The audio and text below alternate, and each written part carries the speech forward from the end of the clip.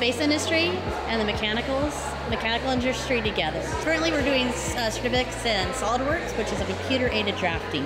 They take a design and they make it 3D, and then we can translate into into a print, 3D print, or you could translate it into industry, and you can send it down to manufacturing to get built.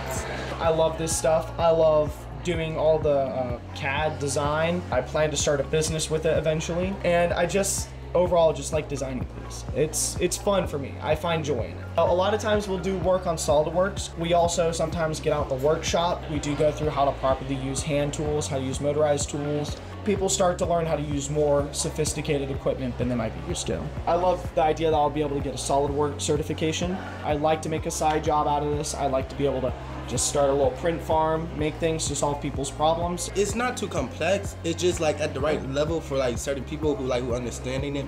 You can have a chance for working at NASA since you had the experience of working on technology and computers and stuff it'll be a good experience for like most people who just want to try something new. We've always kind of known like we need something to do with space. We're right across from the Space Center. We were worried because there was a lot of work that had to go into creating this facility, getting all of the equipment the kids needed, finding the right teacher with the background to be able to give them solid instruction.